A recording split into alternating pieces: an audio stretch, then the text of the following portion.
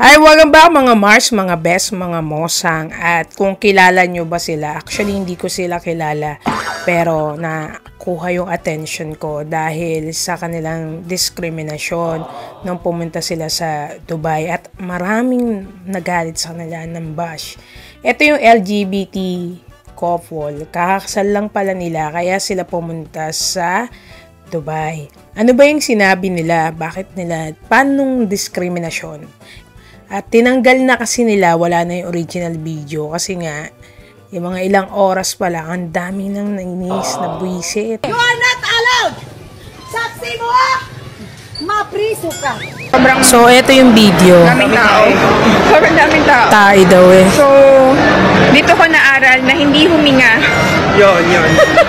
ng mga... Pabor, pabor. Hindi huminga Pabor ng daw mga... eh. Nag-scuba diving sa ano. Para kami nag-scuba diving na. Basta pag may mga Yan ang mga kasalubong. ganito. Pagbalay Ayan mo, oh. tapos may itim yung mga. Tuturo pa nila. Basta may mga kasalubong, di ako hihinga. No? So, pag yung hangin- Grabe kayo. Eh, ano mo. Yan, yan. Ito, lalo ito. Dikitan mo itong mga to. Ayan, yan, yan, yan. oh. Parang mga May bata. alcohol naman, mga iba. Sayang na may pambango natin, kinapitan. Pero kaya rin naman, mababait naman sila. Siguro, siguro sa kanila, yung amoy naman natin ang hindi okay, di ba? Oo, kasi walang amoy eh. Tapos sa kanila naman, parang siguro ganun, no? Parang sa kanila okay yung amoy na yun. Tapos yung amoy namin, di okay sa kanila yung amoy nila. Hindi. Kung isipin mo, nasa LGBT pa kayo. So hindi tayo nakakahinga for today's video. Yung relasyon nyo, hindi pa tanggap ng ibang tao. Lagi niyong tatandaan. Pag kami makakasabi pa kayo nag- Kaya kayo, lagi nyo rin tandaan na nagbabiral na kayo. Ay, sa At binura nyo na yung video. Tagalog. Sabi mo, sabi mo, baho, buksan natin yung ano, sabi niya, pinabuksan niya yung bintana ng taxi.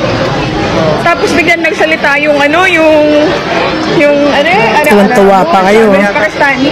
Sabi niya, saan kayo punta? O, tingnan nyo nga, nakakaintindi yun. Tapos, uchichismis nyo na, Pero okay lang kasi last naman na eh. ay nako, hindi okay yun kahit last na matuto kayong rumispeto.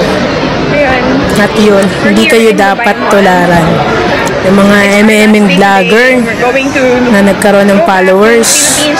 Alam mo, kung pupunta ka dun sa ibang lugar, di ba, ang kailangan talaga dyan, yung aaralin mo yung culture nila. Ganun yun. Kaya ka nga nagta-travel kasi para ah, malaman mo yung exchange culture, kung ano ba yung ano, yung bawal doon, ano ba yung mura doon, ganon, di ba? Pag nagta-travel tayo, pero sila kasi, para puro negative lang yung sinabi nila. Hindi nila sinabi about sa Dubai, di ba? Maraming alas doon. Maraming magaling magtagalog na ng mga nakatira doon, yung mga Pakistani, yung mga Arabo.